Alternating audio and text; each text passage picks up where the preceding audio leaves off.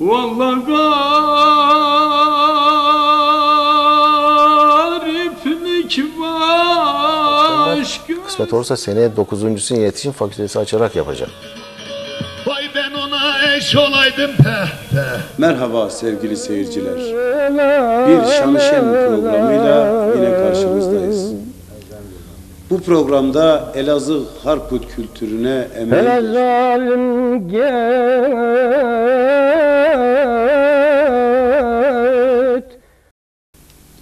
Yükseklerden alçaklara bakamam. Su degilim dört yanına akamam. Seni koyup yad ellere bakamam. Bakar isem bakanlarım kör olsun. Merhaba sevgili seyirciler. Bir Şanışen programıyla yine karşınızdayız. Bu programda Elazığ Harput kültürüne emeği geçmiş, Elazığ Harput kültürünü araştırmış, incelemiş bir araştırmacı kardeşimizle beraberiz. Kendisi şu anda Elazığ'da olmamakla beraber aynı zamanda Fırat Üniversitesi mezunlarındandır. Sayın Türker Eroğlu, hoş geldiniz. Hoş bulduk efendim. Bize kendinizi kısaca tanıtır mısınız? Ben e, 1959 senesinde Elazığ'da dünyaya geldim. İlk orta ve lise tahsilimi burada tamamladıktan sonra yine burada bulunan Fırat Üniversitesi Antropoloji bölümünü bitirdim. Evet.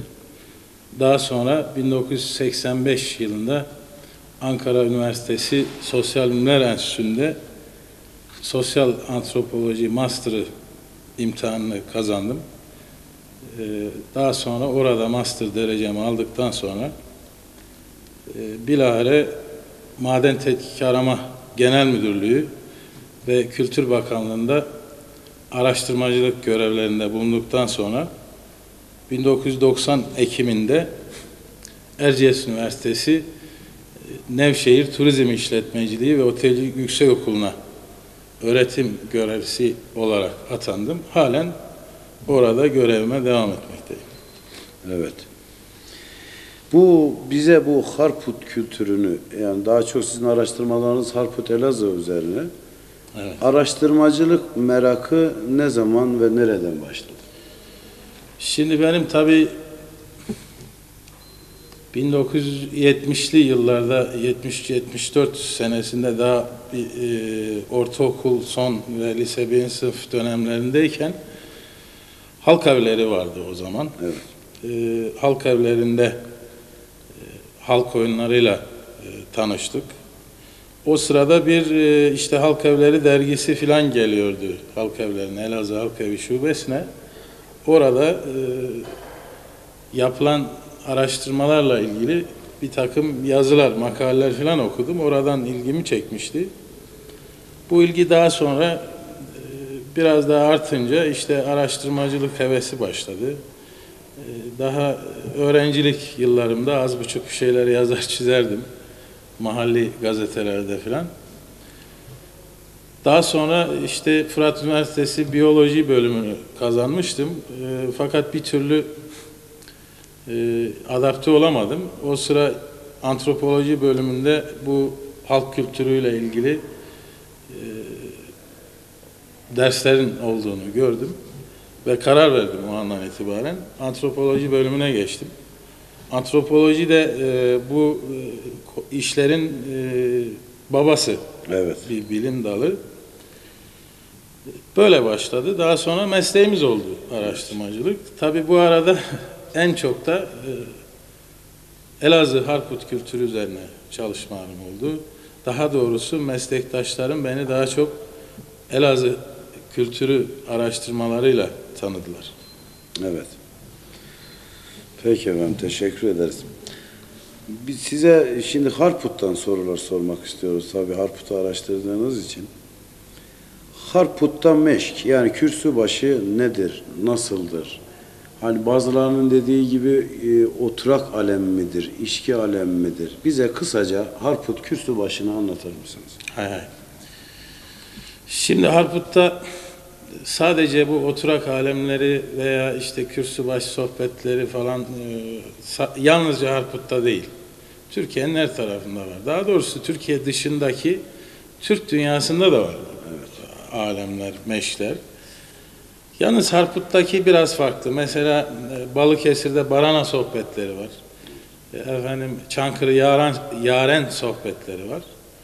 E, İşte şeyde Kırşehir'de bir ahilik teşkilatı var. Onların bir takım toplantıları var vesaire. Ama bizdeki hem musikinin olduğu hem memleket meselelerinin konuşulduğu, küslerin barıştırıldığı, efendim e, daha doğrusu bir e, okul gibi bir şey yani bir kültür e, okulu gibi bir şey bu kürsübaşı dediğimiz hadise ve içinde kesinlikle e, içki alemi filan kesinlikle yok. Burada bu meclise giriş çıkışın oturup kalkmanın bir adabı vardır.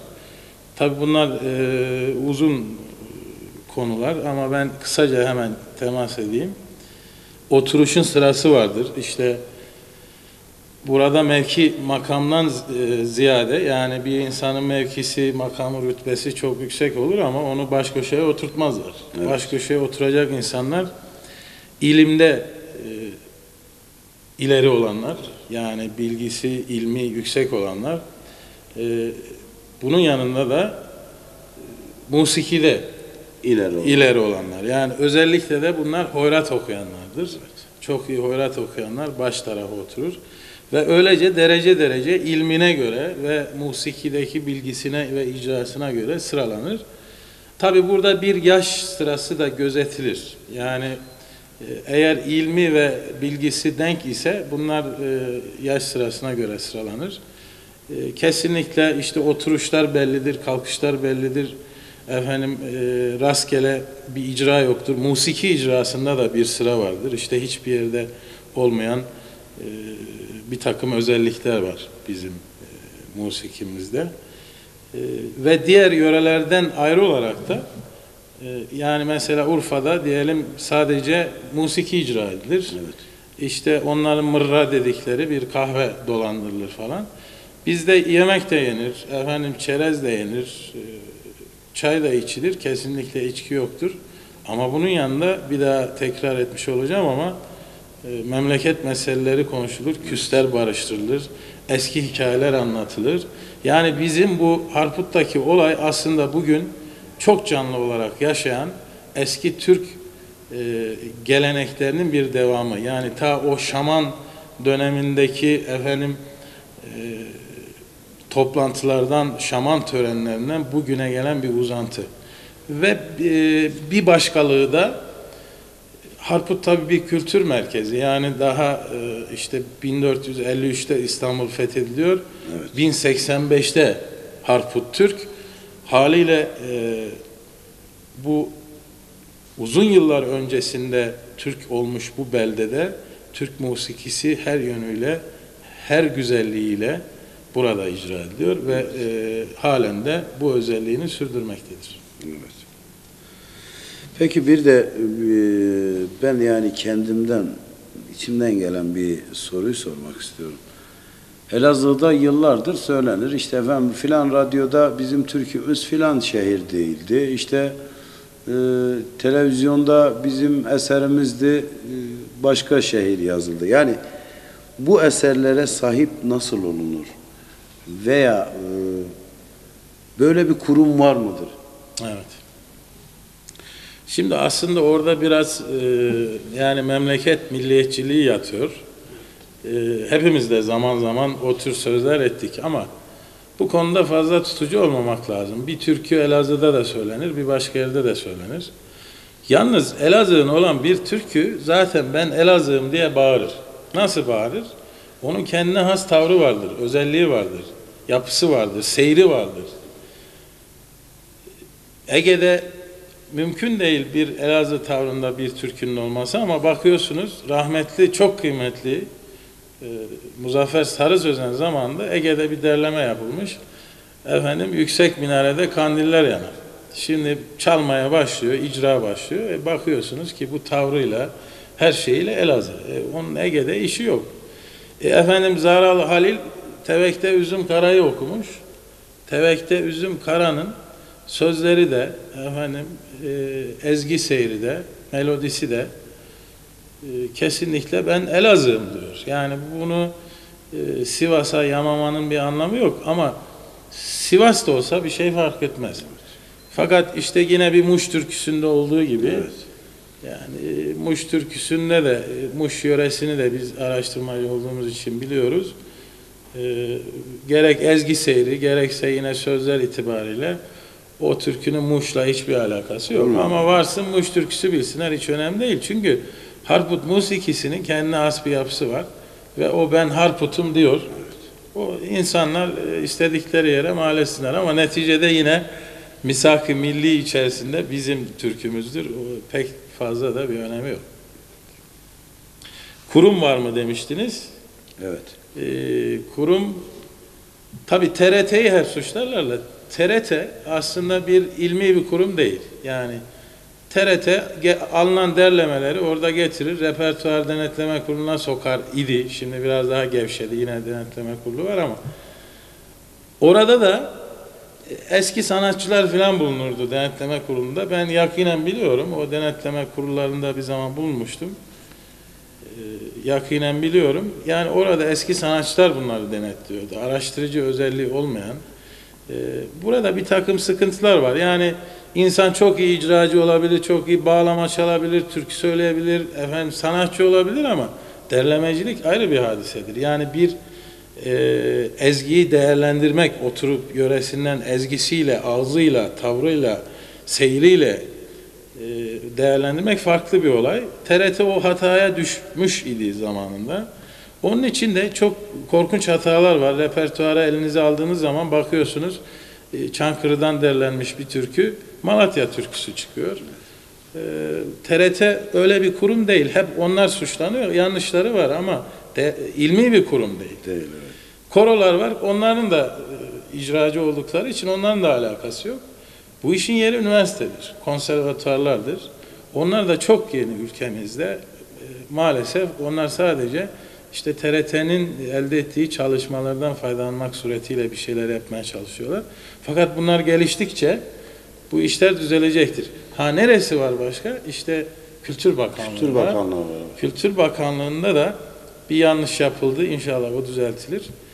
E, hep tenkit etmiş oluyoruz ama onlar da repertuar kurullarına TRT'den sanatçı çağırdılar. Halbuki repertuar kurullarına ancak üniversitelerden insanlar çağrılmalı. Belki bir sanatçı temsilcisi falan olmalı. O zaman bu işler düzelir. Bu yanlışlar düzelir diye umuyorum. İnşallah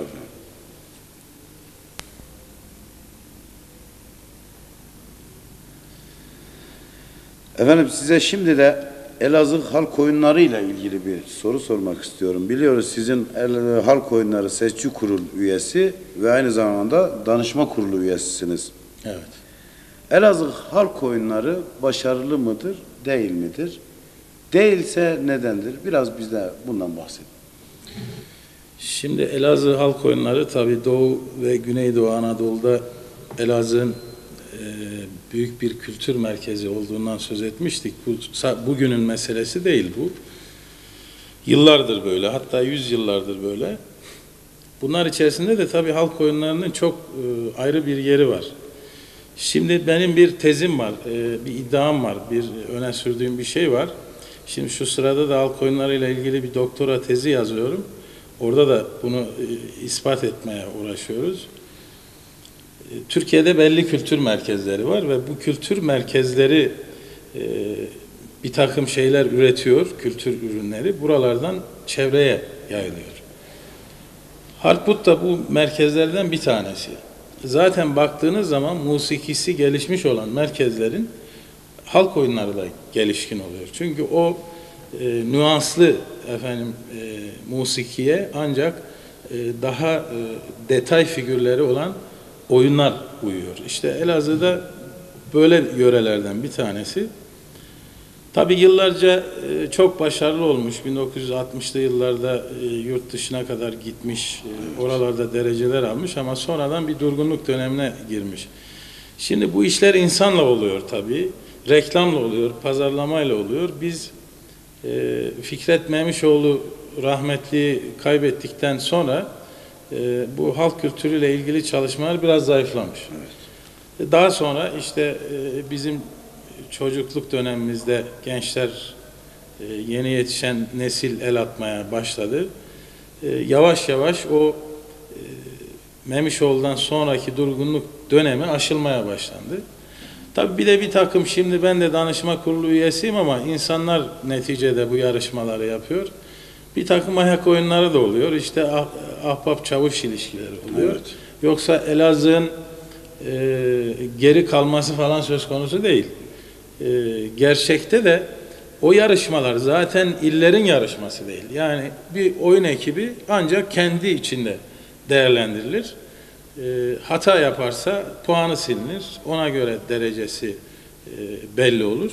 O bakımdan Elazığ'ın gerilemesi Elazığ'daki çalış direkt çalışmaların azlığından falan da değil. E, bu sözünü ettiğim bir takım sebepler yanında e, tabii ki e, işte bu yarışmalara göre hazırlanmanın da gereği var. Evet. Onların Belli istediği evet, sahip. belli şartlara, belli kurallara bağlı olarak bizim insanımız da pek buna alışkın değildir. Yani biz çıkar yarım saat halay oynarız. Bir ağırlamamız vardır, ağır halayımız. E bunu sahneye çıkarmaya kalkarsanız zaten sahnenin ortasına gelinceye kadar yarım saat geçer. Onun için e, biraz tabii yarışma kurallarına uyunca da o yöre tavrı biraz kayboluyor. E, bu da bizim hoşumuza gitmiyor tabii. Bu sebeple de biraz belki onun da etkisi var diye düşünüyorum ama bence Elazığ hiçbir zaman bu konuda gerilememiştir. E, biraz daha e,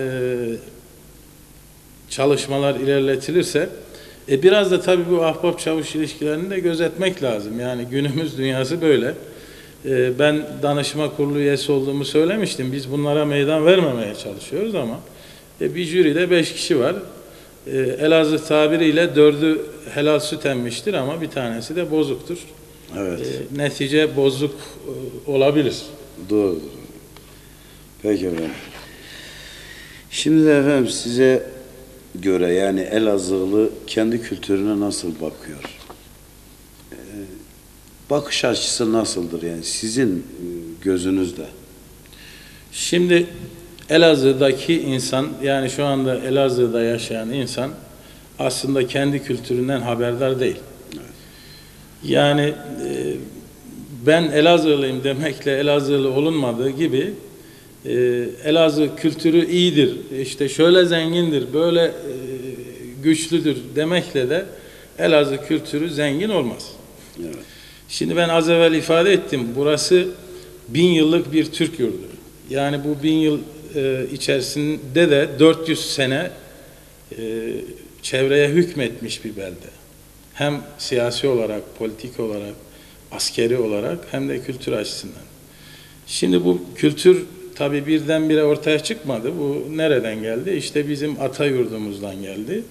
Burada tabii ki gelişti, daha da gelişti, daha köklendi, daha dal budak saldı.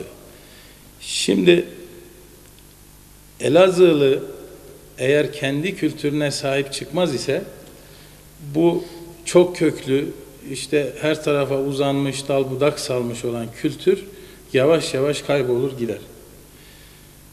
Elazığ'da yaşayan insanın e, bakışı bence biraz fevri.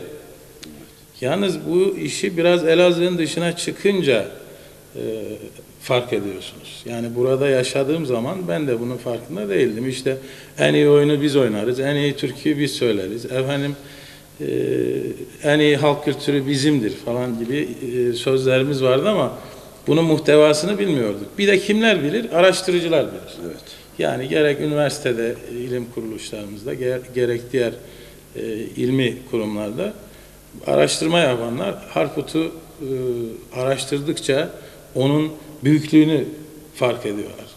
Ben hemen çok kısa bir şey anlatayım. E, radyo sanatçıları bir gün e, bizim çalıştığımız bir e, kurumda bir araya gelmişlerdi. İşte akşam e, Urfa'dan bir sanatçı bir hoyrat söylüyor. E İşte o e, hoyratı dinleyen sanatçılar ertesi günkü sohbetimizde diyorlar ki ya adam ne güzel ilahi söyledi akşam diyor. E, yine bu aynı adamların e, Elazığ hoyratları hususunda da işte ya sizde epey ilahiler falan var dediklerini duydum. Yani bizim sanatçılarımızın bile Haberleri e, yok. haberleri yok. E, bunun bir hoyrat olduğundan falan. Üniversiteler daha yeni yeni öğreniyor. E, konservatuvarlar, Elazığ kültürünü. İşte Elazığ'la ilgili yine e, Fırat Üniversitemizin çok kıymetli çalışmaları var. E, Fırat Havzası diye bir araştırma merkezi kurulmuş. Bunlar bu Elazığ kültürünü hem Türkiye'ye hem Türkiye dışına tanıtmaya başladı. İşte yapılması gereken budur. Yani yoksa e, işte efendim ben Elazığlıyım, e, işte ben Gakkoş'um, Elazığ büyüktür, hoştur, güzeldir ama yani bu hiç kimseye baki kalmaz. Böyle demekle de olunmaz. Yani nasıl ki her ben Elazığlıyım e, diyenin Elazığlı olmayacağı gibi. Çünkü Elazığlılık bir takım hususiyetler ister. Yani nedir? Elazığlı dürüsttür, Elazığlı yiğittir, Elazığlı yalan söylemez, Elazığlı'da üç kağıt yoktur. Efendim e, Elazığlı adabını bilir, oturmasını bilir, kalkmasını bilir, konuşmasını bilir. Başkasının haklarına saygılıdır. İşte gakkoşluğu tarif ediyoruz böylece. Yani yoksa e, herkesin nüfus cüzdanında Elazığlılık, Elazığlı Elazığlı, yazabilir ama bu e, onun öyle olduğunu göstermez. Yani has Elazığlı'nın bir takım hususiyetleri vardır. İşte o has Elazığlı da kendi kültürüne sahip çıkan, onu her zaman o bayrağı gönderde tutmaya çalışan insandır. Evet. Peki Elazığ Harput musikisi bize kısaca e, harp müziği midir, değil midir? Nedir yani Harput musikisi? Şimdi evet e, güzel bir soru aslında. E, mesele halk kavramından kaynaklanıyor. Yani nedir halk? Şimdi halk e, bir zamanlar Karabudun tabir edilmiş. E, yani işte tarımla, ziraatle uğraşan insanlar. Bir zaman e, belli gelir seviyesinin altında olan insanlar. Bir zaman e, efendim belli siyasi e, güce sahip olmayan insanlar diye düşünülmüş ama aslında halktan anlaşılan o değil. E, fakat biz geleneksel musiki midir diye Evet. e, düşünür isek tabii ki geleneksel musikidir. Yalnız bugünkü manada halk musikisinden biraz farklıdır. E, niye farklıdır? Mesela e, halk musikisinde halk şiiri vardır. Güfte'de. E, efendim ve belli halk sazları denilen yine o da bana göre yanlış bir tabir. e, sazlarla icra edilir ama bizde öyle değil. Bizde hem halk şiiri hem divan şiiri kullanılır. Büyük şairlerin yazdıkları eserler okunur. Onun dışında Harputlu şairlerin yazdıkları eserler ezgiyle birleştirilip okunmuştur. Ama tabi mani tarzında, efendim koşma tarzında bir takım e, şiirler de e, beste haline getirilip okunmuştur. Şimdi tabi ezginin yapısı itibariyle bilinen halk müziğinden farklıdır. Farklıdır E, Biraz sanat müziğine yakındır. Efendim halk müziği sanat müziği arasında bir geçiş müziği diyebiliriz. E, bu da şunun içindir. Daha evvel de bahsettim. E, daha bu bugünkü e, sanat musikisi oluşmadan yani bugünkü halini gelmeden bu işin merkezi buraydı zaten Harput'tu. E, o vesileyle e, sanat müziğinin e, bir e, kökü de diyebiliriz e, harp musikisine. Bu yönüyle biraz tabii farklı ama hepten de halktan kopuk bir müzik değil. Yani gelenekselliği muhakkak var. O geleneksellik burada bütün canlıyla yaşıyor. Çünkü e, hoyratlar var. Bunların bir sürü isimleri var. İşte tecnisler, maya, elezber, efendim kesik diye bir ayrı bir tarz var. Birçok yörede olmayan. Bugün bakıyorsunuz bunlar e, İran, Azerbaycan'ında bunlar efendim e, Türklerin e, müstakil Azerbaycan'ında da hala yaşayan aşıklar evet. tarafından icra edilen şeyler. Her ne kadar bizim burada biraz değişmişse de onlar biraz daha hala eski biraz daha iptidai şeklini muhafaza ediyorlar ama bizde biraz daha gelişmiş. İşte bu silsile devam etmiş. Yani buradan nereye gitmiş? Harput'a gitmiş. Harput'tan Kerkük'e gitmiş. Kerkük'e gitmiş. Efendim e, işte Selçuklular vasıtasıyla e, Anadolu'yu dolaşarak işte Osmanlı eliyle de Bursa'ya gitmiş. Bursa'dan e, İstanbul'a gitmiş ve orada bugünkü sanat musikisi halini almış. Yani bu sanat musikisi tabii gökten zembille inmedi. İşte bu kabaca tarif ettiğimiz seyri takip ederek bugünkü halini aldı. Peki efendim. Türker Bey sizin şair olduğunuzu biliyoruz. Biz daha evvelki programlarımızda e, Sayın Şereftan hocamla sohbet ederken sizden bahsetmiştik. O günlerde de yeni yazdığınız Gurbet Destanı isimli bir şiiriniz yayınlanıyordu. Ki e, o Gurbet Destanı herhalde 160'a yakın e, sayıya ulaşmış hala da gazetede ilan ediliyor. Bize bu şiirden kısa da kısaca bahsedip bir de içinden bir iki kıta okur musunuz? Memnuniyetle. Şimdi efendim aslında bütün Elazığlılar şairdir. Ee, zaten her genç de 20 yaşına kadar şairdir. 20 yaşından sonra e, devam ettirenler gerçek şair olurlar. Ee, ben de e, üniversite bittikten sonra, daha doğrusu gurbete çıktıktan sonra bu yazma işi başladı. Tabi biraz edebiyatla falan ilgimiz de var. Haliyle bu aşıklık geleneğini falan da çok benimsediğimiz için işte zaman zaman yazıyoruz. Bu Harput'a Hasret e, adlı bir destanımız var. Gurbet destanı bir da. Daha önceki yazdıklarımın bir devamı aslında bu ama e, bir destan olsun istedim. Nasıl bir destan? E, Elazığ'ı anlatan bir destan. İşte Elazığ'da sadece benim duygularımı anlatmıyor aslında. Ben e, yıllardır dışarıdayım. Aşağı yukarı 9 seneyi geçti. E, bu 9 yıl içerisinde tanıdığım Elazığlıların hasretlerini e, dile getiren, getirmeye çalışan en azından bir destan. Burada ben Elazığ'ı işte kendi yaşadığım yerden, kendi ailemden, kendi eşimden, dostumdan başlayarak, arkadaşlarımdan e, yavaş yavaş çevreye e, yayılarak anlatmaya çalışıyorum. Sokak sokak.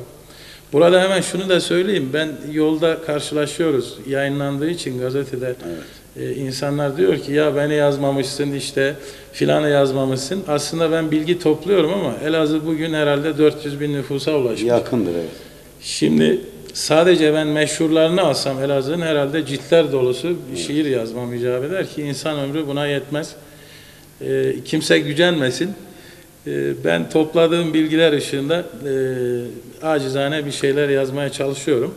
Destan şu anda 185'liği buldu. 185. 180 e, Beşlik. beşlik Dörtlük oldu. değil, evet. dörtlük değil, beşlik yazıyorum. E, ondan bizim işte Fırat TV'nin de e, bünyesinde bulunduğu üniversiteyle ilgili yazdığım e, birkaç şey var. Onu e, O bölümü okumaya Evet. çalışıyorum.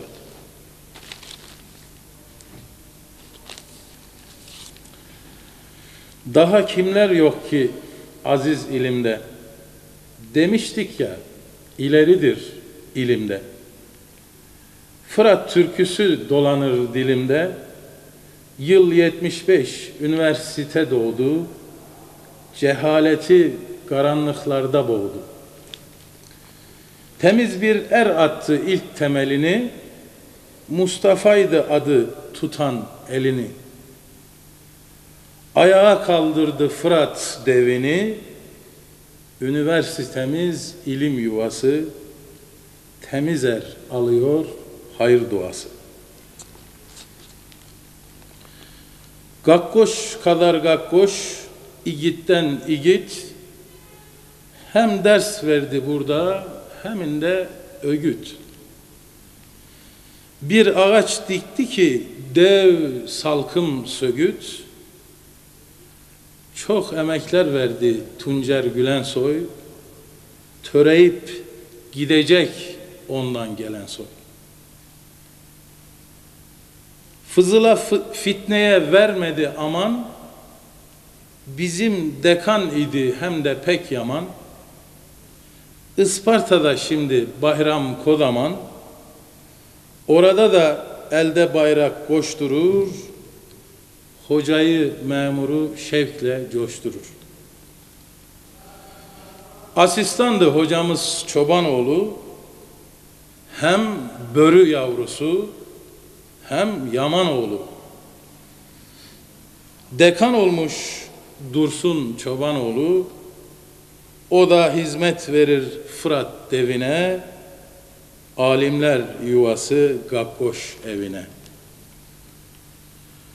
Gakkoşlar çağalar olmasın duran, iyiyi kötüyü kollayıp vuran, ahlim olmuş kardeşim Ahmet Buran, kitap yazar, ilim okutur durur, bölücüye kuvvetli sille vurur diye böyle devam ediyor.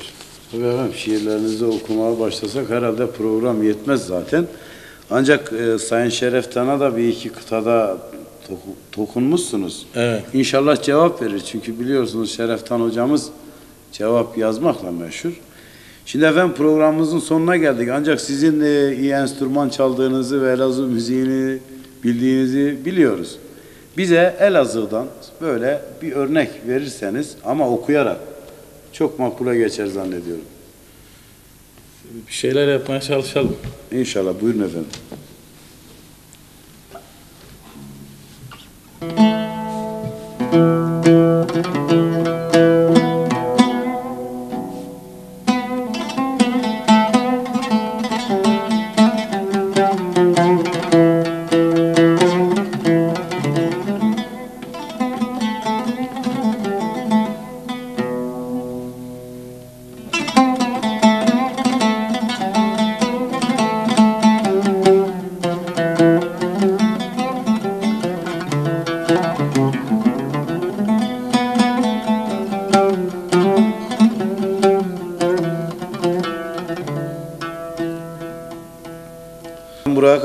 Zahmet ettiniz, geldiniz. Çok sağ olun, çok teşekkür ederiz.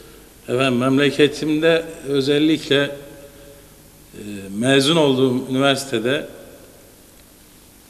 görev yapmakta olan Fırat Televizyonu'nda e, kendi insanlarıma seslenmek fırsatını verdiğiniz için ben teşekkür ederim. Sağ olun. Biz de teşekkür ederiz, sağ olun. Sayın seyirciler, bir Şanışen programı daha burada sona erdi. Haftaya aynı saatte buluşmak üzere. Esen kalın. Vallahi gariplik başka Kısmet olursa seneye 9. iletişim fakültesi açarak yapacak. Vay ben ona eş olaydım peh peh Merhaba sevgili seyirciler. Bir Şanışen programıyla yine karşınızdayız. Bu programda Elazığ Harput kültürüne emeği... Hele gel.